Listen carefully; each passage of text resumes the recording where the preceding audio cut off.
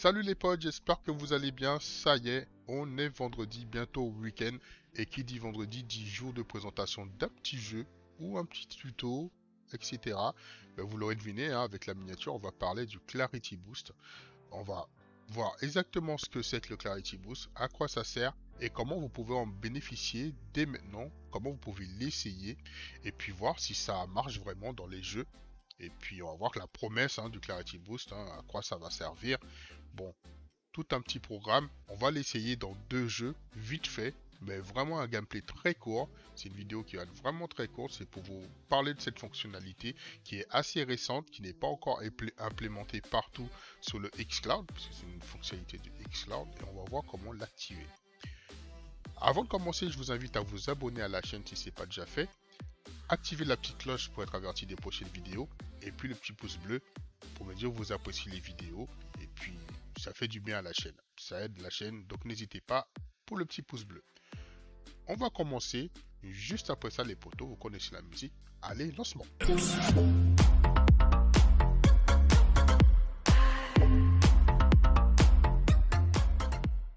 Salut les potos, on y est. Alors qu'est-ce que le Clarity Boost? Ben, C'est une fonctionnalité à activer euh, pour vos jeux sur xCloud. Vous savez, vous pouvez jouer sur votre laptop avec un navigateur internet, etc. Vous pouvez jouer aussi sur votre smartphone. Et ce Clarity Boost va tout simplement booster les graphismes du jeu. Au tout début, on croit que ça marche pas vraiment. Et c'est vrai que ça laisse perplexe parce que on voit juste un petit pic de luminosité, ça augmente la luminosité. Et puis quand on regarde plus précisément, on voit qu'il y a quand même un petit changement de ci et là. Et on voit que ça améliore quand même un petit peu le jeu. Comment le mettre en place? Mais déjà, vous n'y avez pas accès déjà de base. Il va vous falloir télécharger cette version de euh, Microsoft Edge, qui est une version euh, bêta, version, version dev si vous voulez, une version insider, avec, qui est constamment mise à jour avec euh, des nouvelles fonctionnalités. Et quand vous jouez au xCloud par le biais de ce navigateur-là, vous avez la fonctionnalité Clarity Boost qui est implémentée dans le navigateur et ça fonctionne pour l'instant que par, ce biais-là. Donc déjà, vous allez devoir euh, télécharger cette version. Ah, pour le télécharger, hein, tout simple, hein, vous allez sur Google, n'importe quel moteur de recherche, vous tapez Microsoft Edge Canary qui est la version de, euh, de ce navigateur et vous prenez le premier lien. Voilà, je clique dessus, on se retrouve ici et vous prenez la version bêta, pas la version dev, pas la version Canary ici, la version bêta, canal bêta, et euh, vous téléchargez donc la version pour votre OS, ici Windows 10, Windows 11, et je l'ai déjà fait. Donc après, vous avez le petit raccourci ici. Nous voilà sur le canal bêta, euh, le bêta de Microsoft Edge. On va sans plus attendre, on a déjà le petit raccourci là pour moi du Xbox Cloud. Voilà, on se retrouve direct. Euh, connecté à mon compte. Je crois être déjà connecté, mais il va falloir que je me connecte. Moi qu'il le fasse automatiquement. Et eh ben voilà, on y est. Donc on va tester ça avec des jeux euh, où ce sera quand même assez flagrant. Ah tiens, c'est impeccable. N'oubliez pas qu'ici euh, ici, on n'a pas besoin de, réinstaller le jeu ou d'installer le jeu, hein, ça se lance directement. C'est toute la puissance du, cloud. Hein. J'active ma petite manette. Et on va lancer Hyacinth et on va essayer aussi euh, peut-être... Hmm, déjà on va lancer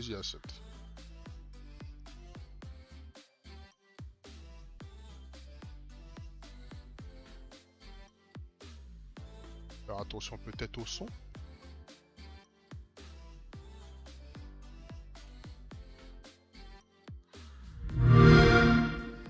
Ça... Le son est quand même assez fort.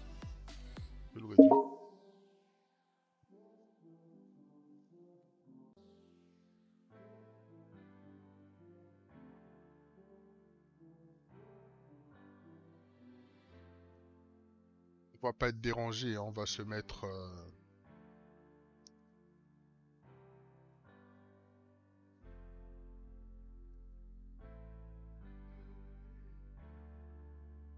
se mettre hors ligne pour pas être dérangé. À peine connecté, on a déjà des invites. Voilà.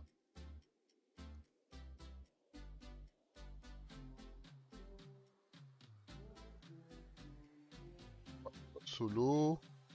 Je vais continuer ma petite partie. Et là, vous voyez, avec le, avec le Xcloud, l'image est toujours un peu floue. Hein. Ça met un petit, un petit peu de temps pour se stabiliser.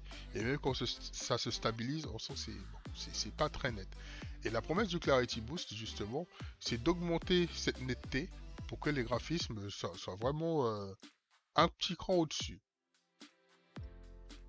Gardez en tête que là, on est quand même en train de capturer une vidéo et en plus, YouTube va passer derrière, va mouliner tout ça, puisque je vais uploader la vidéo, c'est cette vidéo que vous êtes en train de regarder.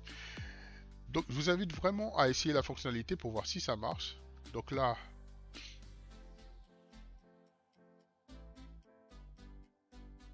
Alors, c'est un jeu magnifique, hein. Alors, déjà les effets de lumière, là, on y a droit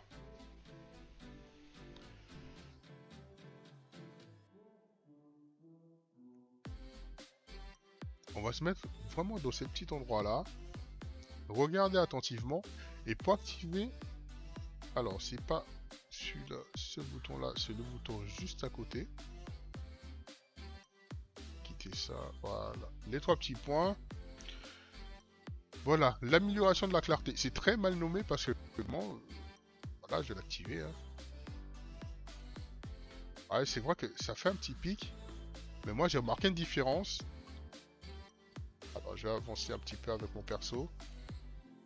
Pas rester derrière la, barre là. Regardez bien. Les néons. L'espèce de barre qui est ici. On va l'activer. C'est effectivement un tout petit peu plus net. Regardez les textures sur le bâtiment euh, euh, ici à gauche. Les textures, ça c'est très métallique, etc. Hein, sur, sur ce jeu. On le désactive, vous voyez, hein, les textures sont quand même moins nettes. Au niveau des escaliers, des marches, c'est vraiment dans l'ensemble, même ici. Là, on va l'activer à nouveau.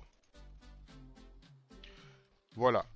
Donc, quand vous regardez par endroit, c'est pas, c'est pas flagrant, mais sur l'ensemble du jeu, parce que ça améliore justement la netteté sur l'ensemble du jeu, là, on voit une différence. Donc, je vous invite vraiment à tester cette fonctionnalité moi je trouve que...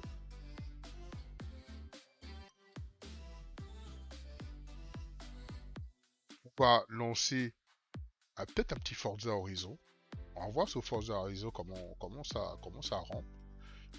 Hop, on va quitter le jeu.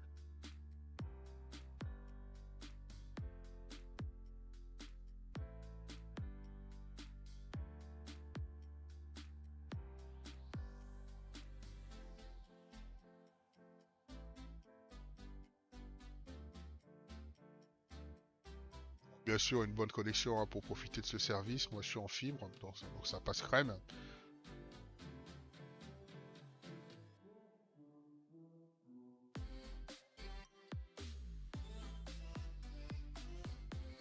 Voilà déjà dans le jeu.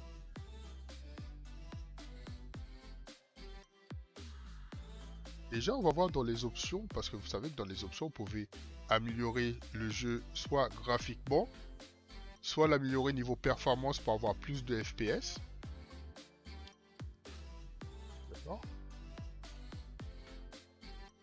Je vais voir ce qui est activé par défaut. Je ne sais pas s'il euh, y a cette option là normalement oui dans, le jeu.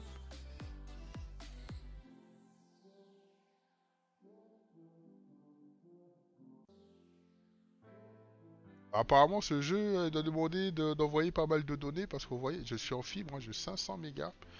Et là, j'ai le petit logo connexion qui apparaît comme s'il avait du mal à envoyer, euh, c'est ce que ça signifie. Hein.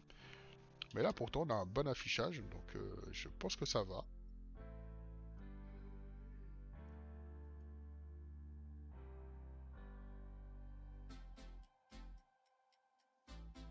Et dans le jeu, on va voir ce qui est activé dans les paramètres.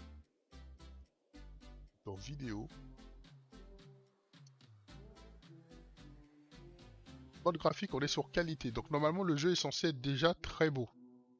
n'est pas sous performance. On n'a pas le, nombre de FPS maximal qu'on peut avoir par le cloud gaming.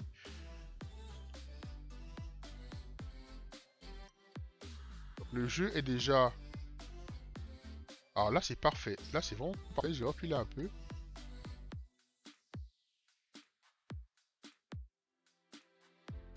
Des, des montagnes, tout ça. Regardez au loin. On va voir si ça agit. Ça, tombe bien, les buissons autour. Il y a pas mal de détails ici.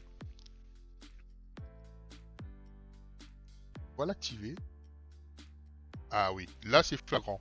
Au niveau des montagnes là-bas, de, ces niveaux-là, on le voit, hein. on le voit très clairement. Je désactive. Vous voyez, c'est quand même plus flou. Donc oui, oui, on peut dire que ça fonctionne. Après, en jeu, c'est un petit gap. C'est une nouvelle fonctionnalité. Et vous savez, comme toute nouvelle fonctionnalité, c'est appelé à s'améliorer dans le temps. Mais pour un début, c'est quand même pas mal. Donc je réactive là.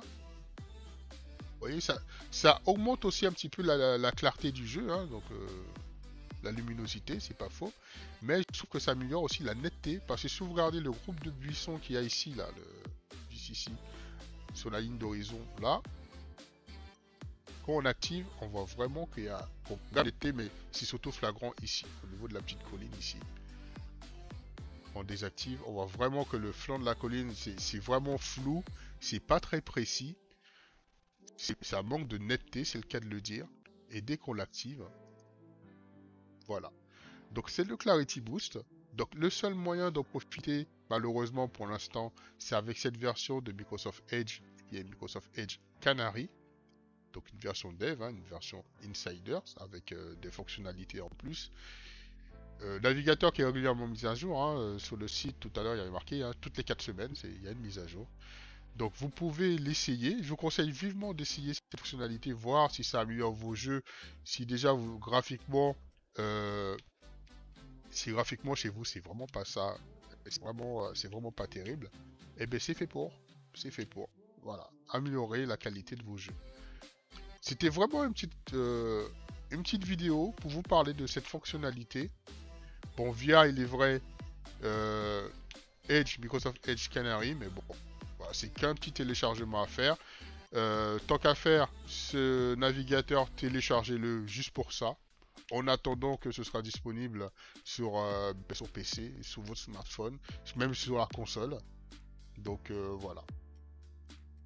Dites-moi ce que vous en pensez de cette fonctionnalité. Est-ce que vous connaissiez déjà cette fonctionnalité-là? Et puis euh, voilà, n'hésitez pas à mettre des commentaires. Et puis faire part de vos astuces aux autres, parce que je sais qu'il y en a qui ont vraiment du mal avec le xCloud, qui ne fonctionne pas bien chez eux. Alors c'est pas forcément une question de connexion, c'est surtout une, question de, stabilité de connexion. Il faut que votre connexion soit stable. Il ne faut pas qu'il y ait de variations. Ou s'il y en a, il faut qu'elle soit vraiment minime. Donc forcément, si ça varie beaucoup votre connexion, si ça fait tout le temps le yo-yo, ben, au niveau du jeu, au niveau du cloud gaming, ça va être compliqué. Là, on voit que c'est quand même pas mal pour du cloud gaming. C'est vrai que bon, la voiture n'avance pas, mais il y a des gens qui ont déjà rien que là, comme ça, là, l'image bave, l'image est assez baveuse. On voit, euh, on voit pas nette, vraiment. Et euh, essayez cette, cette fonctionnalité. Et encore une fois, n'oubliez pas de mettre un petit pouce bleu si vous avez apprécié la vidéo. C'était la petite vidéo du vendredi pour vous quitter pour le week-end et on se retrouve lundi pour la présentation d'un jeu. Et puis, euh, vous savez ce qui arrive bientôt, les potes. Hein.